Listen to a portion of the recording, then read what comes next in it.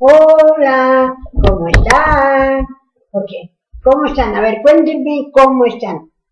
Bueno, yo personalmente a cada uno de todos ustedes les mando un beso, pónganselo donde quieran, luego me, me, me dicen dónde se lo pusieron para ir a checar el detalle y si la, no, lo, no lo hicieron bien, lo repetimos. O sea, si lo, se lo pusieron en una tetita, vale, eso es bueno. Si en un narguito también vale. Pero si se lo pusieron así nomás, en el calcetín, no vale, ¿eh? No vale. Tiene que ser cachondamente. Bueno, ¿cómo está? Este, porque hoy tenemos una interesante persona o un interesante personaje. Ay, ustedes dicen que es. Pero ella, ay, además imagínense, no saben de quién es hija. De yo la admiro a su madre suya de ella. La admiro como, no sabes cómo la admiro, porque qué tenaz mujer. Qué, qué bárbara, qué chingonería. Sí, así como ve, como no es. Bueno, preséntate tú, por favor.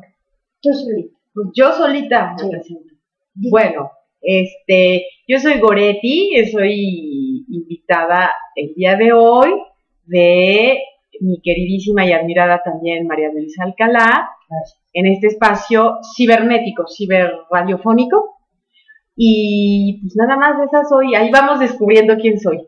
Bueno, pues empieza a, descubrirnos quién eres. Ah, pues yo estoy aquí porque hace una semana coincidimos en que María Luisa nos hizo favor de amadrinar una obra en la que estoy participando, en un pequeño musical que lleva por nombre La mala bruja ortografía en Gramaticolandia, que se presenta... Repite tu, tu título porque es fantástico, es increíble. En estos tiempos me parece que sí.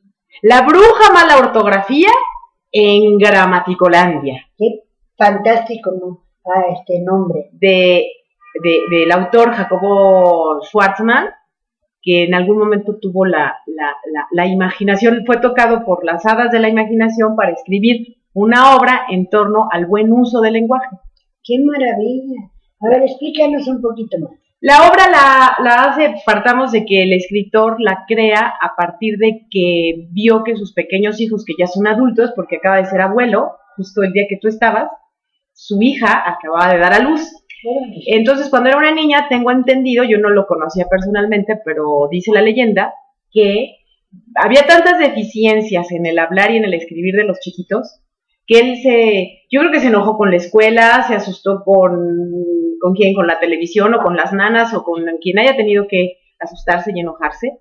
Entonces quiso hacer una obra para que ellos, me, imagino, la interpretaran en donde pues los, los familiarizaba o les contaba una historia eh, en, torno a los elementos que conforman la gramática y cómo se ven amenazados por, un, por una villana que es la bruja mala ortografía. La bruja que todos y todas llevamos dentro, ¿no?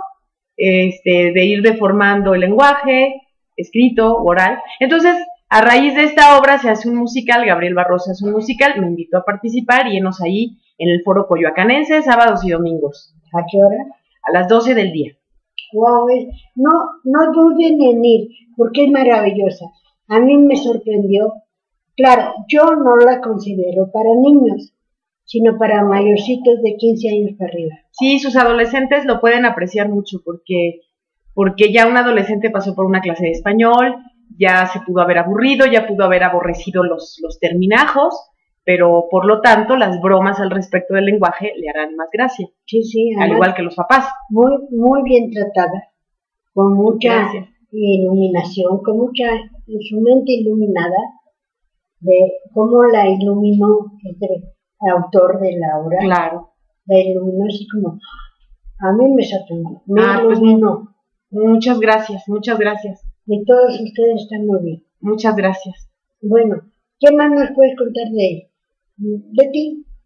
De mí, pues estoy invitada aquí porque nos encontramos en una, en una obra de teatro que les cuento pues que yo que soy eh, mundialmente desconocida, pero he hecho muchas cosas, este, he hecho muchas cosas de teatro musical junto a los señores Fábregas, he hecho teatro musical junto a doña Marga López, lo último que hice fue Jaudini, he andado por aquí y por allá, eh, eh, tuve la oportunidad de trabajar con el señor Gómez Bolaño, junto a él, este, en una serie que tuvo tal vez ya no muy, muy, eh, fue lo último que hizo en televisión, se llamaba De Buen Humor. Entonces, por los musicales, bueno, él vio mi trabajo, me invitó a participar y me tocó trabajar con ellos como equipo porque estaban todavía integrados todos los personajes, todo su cuadro de actores, por decirlo así, que lo que, conocemos por, por, su, programa más famoso. Y, este, y, y, tuve la oportunidad de trabajar con él, eh, he tenido la oportunidad, bueno, pues de hacer muchas cositas, de, de, de trabajar mucho, ¿no? desde abajo, pero a veces también como muy eh, eh, eh, por periodos, como intermitentemente, y, es muy celoso esto, ¿no? o sea, tener, la, hacerte de una trayectoria real es, es, muy, es muy celosa, la, la, la carrera. Es muy incierta y es muy incierta, entonces en estas incertidumbres se me da por participar en la producción, entonces he hecho producción de cine, producción de teatro y, y como que conozco y veo a los famosos, a los no tan famosos, a los regularmente tan famosos, este, a lo largo de mis años de vida observo. Entonces, eh, pues tengo por ahí mucho conocimiento de lo que es el medio del espectáculo y bueno. ¿Y tu rama? Este, ¿De dónde es tu rama? Para que le digas a los amigos. Sorpréndanse, ¿eh, chicos? Que mi, mi rama... rama. Tú desciendes de... Ah, pues, Mi papá era bailarín y era director de escena. No mi papá. ¿Quién, ¿Cómo se llama? Mi papá se llamaba Julián de Meriche. No me digas. No se acuerdan, era amiguillos, pillos, amiguillos, amiguillos de Julián de... No, no, no. Era un agasajo ese señor. O sea, mi papá era talonero también de trabajar y bueno, él, era... ¿En todo, a los que gusten del cine mexicano llamado de la época de oro, pues siempre, siempre había una tercerita parte, una segundita o un beat. Mi papá agarraba parejo, era muy trabajador. Entonces siempre estaba presente en, él hizo mucho cine cuando se hacía mucho cine y este y también dirigió muchos espectáculos cuando el teatro de revista en México era el, era el medio de diversión al alcance, al alcance de todo bolsillo. Y de todo bolsillo quiero decir que la gente que podía tener un boleto para Gallola podía ir, pero también iba gente de la mejor sociedad. Así se acostumbraba en los teatros de revista, ¿no? No había televisión, eso hay que subrayar. Por lo tanto, las estrellas del cine, las estrellas de la radio iban a los teatros y había que hacerles su espectáculo, ¿no? Se estrenaba cada 15 días o cada semana cambiaban los elencos, entonces, este, pues ese señor era mi papá. Ay, qué padre, tu padre. Sí. Qué padre, padre. Gracias, y, bueno, y, y, y, pues mi mamá pues era la esposa de mi papá. Sí, ¿Ya entendieron chicos y chicas? Era la esposa de mi papá. La esposa de mi papá, que gusta de vestirse este, con un atuendo de indígena Mazagua, con unas trenzas, y hace comedia bajo el nombre de este, la India María. ¡Eh! Ah, no, sí, ellos son mis papás. Bueno, mi papá ya, ya se fue de esta dimensión. Este, mi mamá está con nosotros nosotros con ella. Bien, mi mamá está bien y este trabajamos y ella trabajando. ¿A qué hace? Pues ella lo que, si estuviera aquí te diría, yo hago el que hacer mucho de la casa, ¿no? Pero hace mucho que hacer. Pues sí, más o menos bien.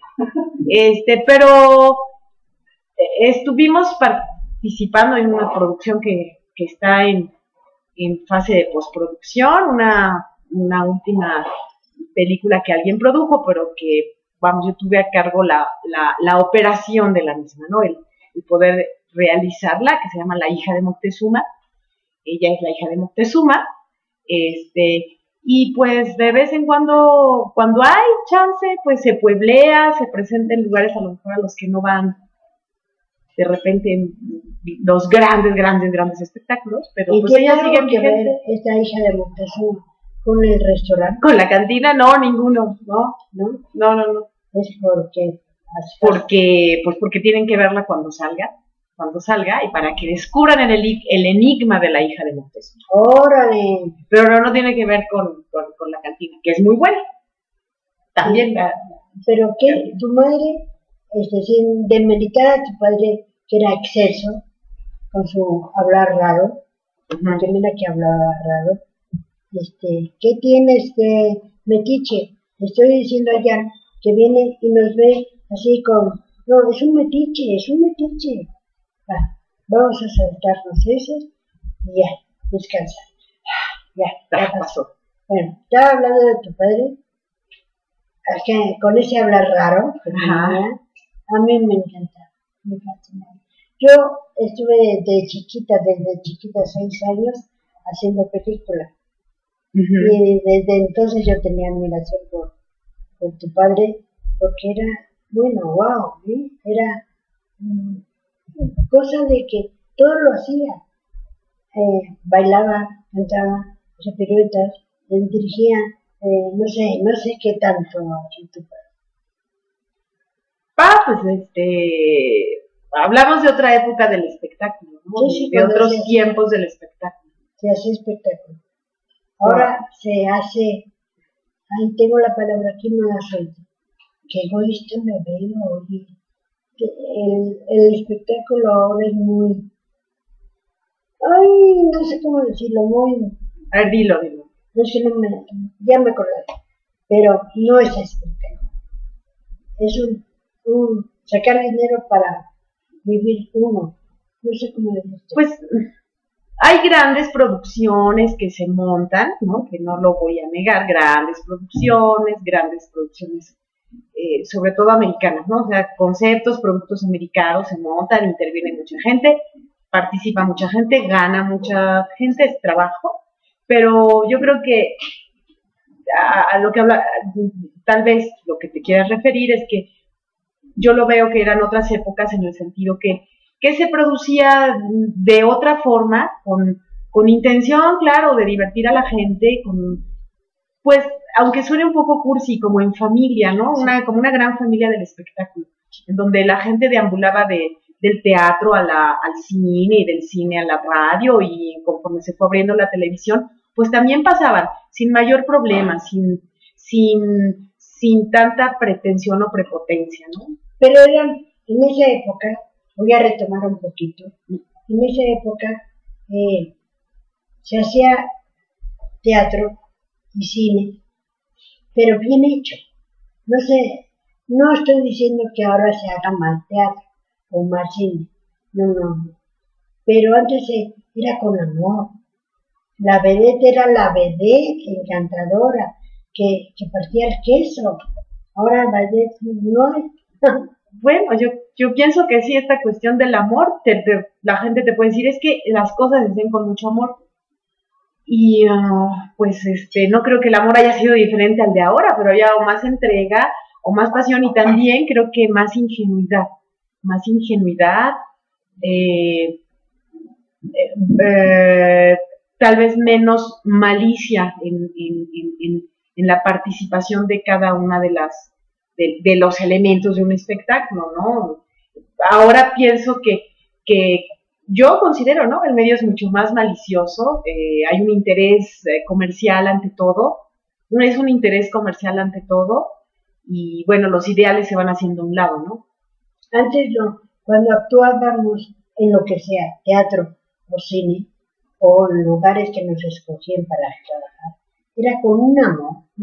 Realmente nos partíamos la, la malle por trabajar, para salir avante y que todo el mundo quedara, quedara contento.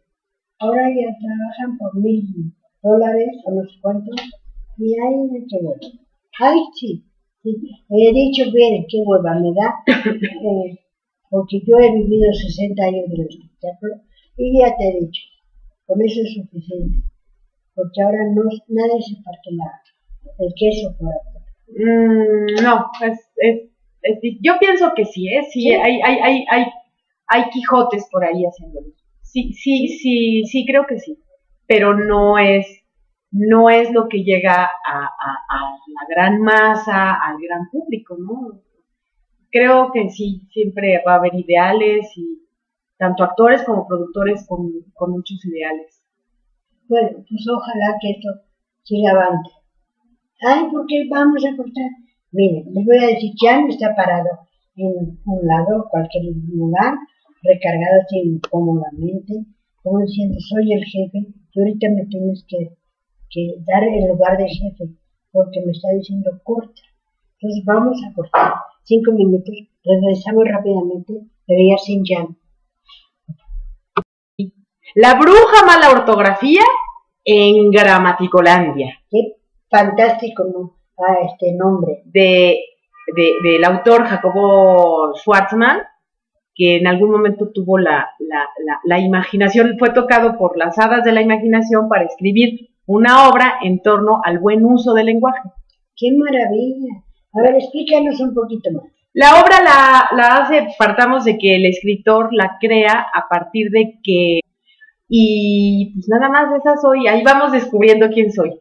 Bueno, pues empieza a, descubrirnos quién eres. Ah, pues yo estoy aquí porque hace una semana coincidimos en que María Luisa nos hizo favor de amadrinar una obra en la que estoy participando, en un pequeño musical que lleva por nombre La mala bruja ortografía en Gramaticolandia, que se presenta... Repite tu, tu título porque es fantástico, es increíble. En estos tiempos me parece que sí.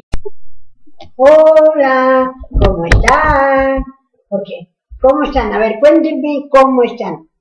Bueno, yo personalmente a cada uno de todos ustedes les mando un beso, pónganselo donde quieran, luego me, me, dicen dónde se lo pusieron para ir a checar el detalle y si la, no, lo, no lo hicieron bien, lo repetimos.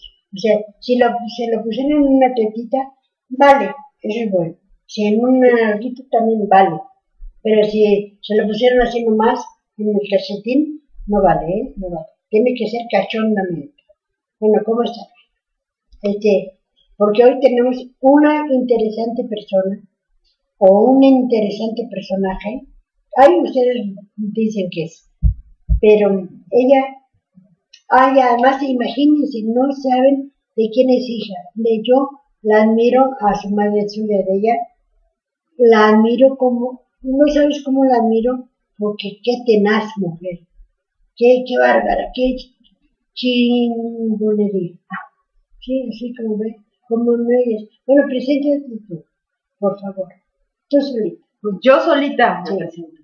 Bueno, este, yo soy Goretti, soy invitada el día de hoy de mi queridísima y admirada también María Luisa Alcalá, en este espacio cibernético, ciberradiofónico,